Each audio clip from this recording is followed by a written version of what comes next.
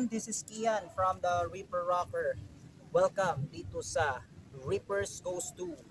Nandito tayo ngayon sa Rainforest Park Pasig at gagawa tayo ng tour.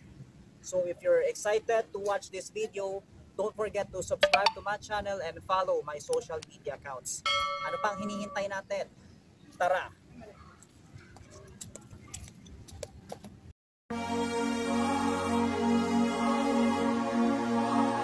Punta kami ni na Tinanggala at Ravelin sa Rainforest Park para mag-picnic at mag-relax. Ang Pasig Rainforest Park ay isang public park sa Pasig. Ito ay isang mixed recreational and natural park with a mini zoo. Itong park na to ay inopen noong 1977 na may initial area na may 4.8 hectares. Ilan sa facilities ng Rainforest Park ay may bayad. Kabilang dito ang swimming pool, a maze garden, flower park at butterfly pavilion. So far, wala naman kaming plano mag-swimming kaya sinubukan na lang namin yung tatlong attractions. Una naming pinasok ay ang maze garden.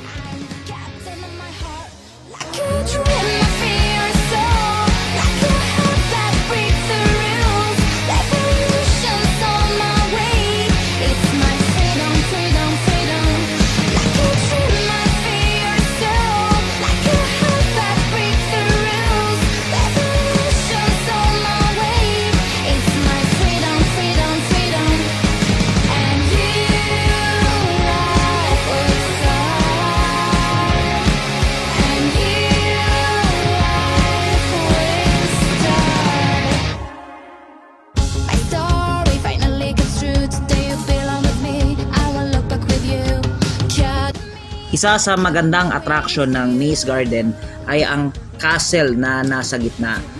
Talagang matcha-challenge ka na mahanap ang entrance ng castle na to once na napunta ka doon sa matataas na bushes. At pagpasok mo nga doon sa loob ng castle ay may daan paakyat patungo doon sa rooftop. At sa rooftop, makikita mo ang overlooking view ng buong maze garden.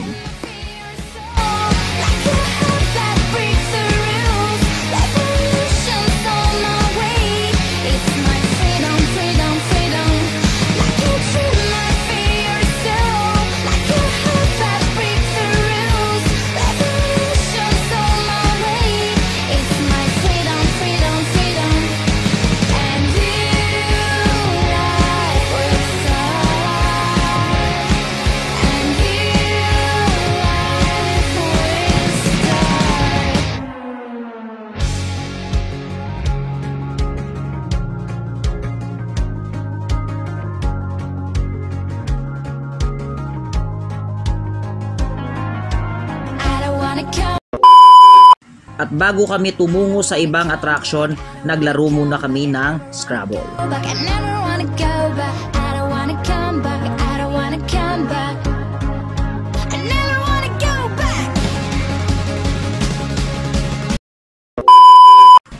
Nagtungo kami sa Butterfly Garden. At masasabi ko sa garden na to ay napakaganda dahil ang daming mga bulaklak na nakatanim. At the same time, may magandang fountain na nasa gitna na perfect pang Instagram.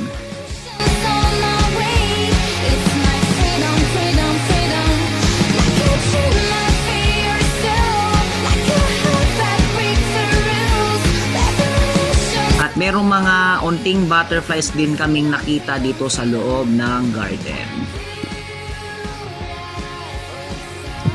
Paglabas namin sa butterfly garden, naglibot-libot kami sa loob ng park.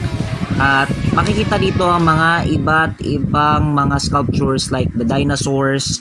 At meron din ditong bus ni Jose Rizal.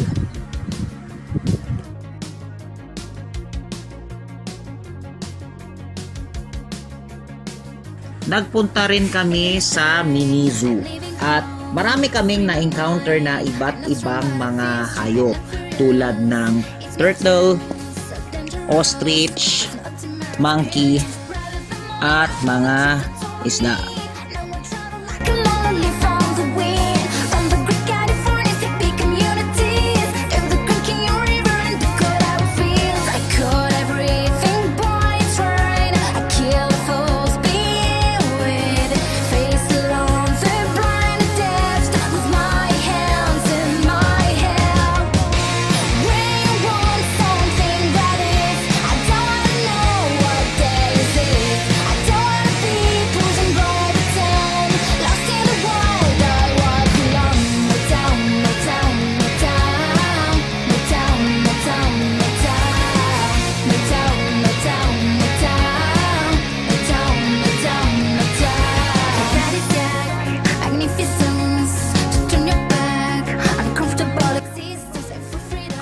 Meron ding mga ibon at bibe at lubos kaming na-entertain sa mga hayop na to.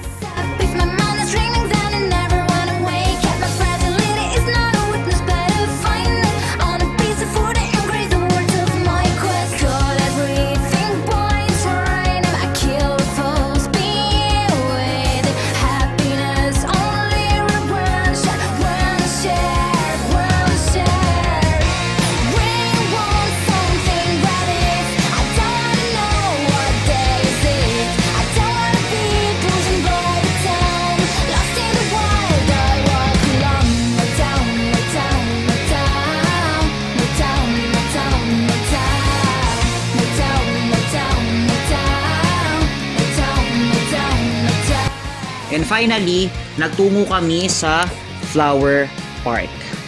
At so far, ito yung pinaka-favorite kong spot sa rainforest dahil napakaganda ng scenery dito.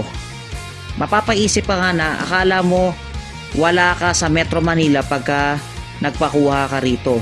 Yung akala mo ba para kang nasa ibang bansa, ganun. And maraming mga bulaklak na nakatanim dito kaya very refreshing sa sa mata. Perfect ang spot na to pang Instagram.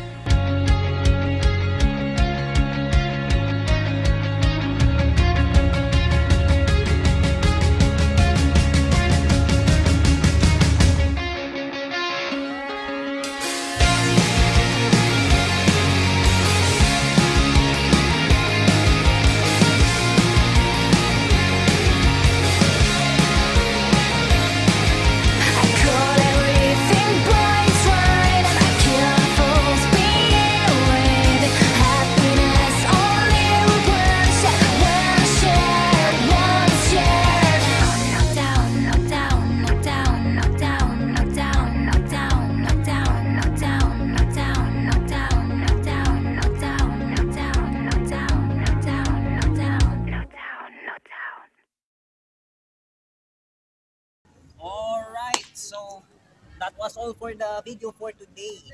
And let me know in the comment sections anong masasabi nyo dito sa park na to.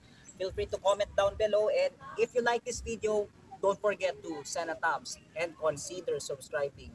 Magkita-kita tayo sa susunod na episodes ng Reapers Goes to. This is Kian signing off. Rock on Pilipinas!